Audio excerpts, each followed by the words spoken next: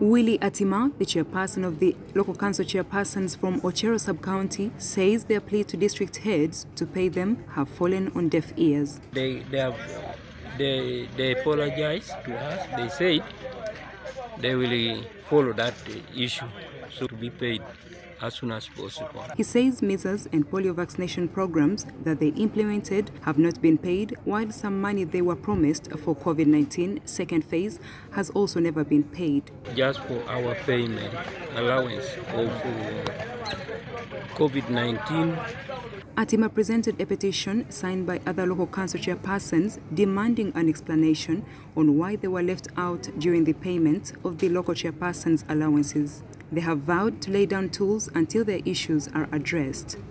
Digestion, polio, and child's day, child's day.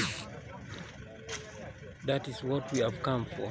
Kasim Oyu, together with other leaders from the health department, has explained the delayed payment. They have promised to handle the matter with immediate effect. then for polio, yeah, polio money, certainly here. And it has been processed. Personally, I made requisitions. We are more than 10 handling a bit here. Do you think I'm more what you say But the money is there. Leaders have intervened and promised to reach an understanding. We always go to them, Chairman, you do this for me, you call this meeting without what? But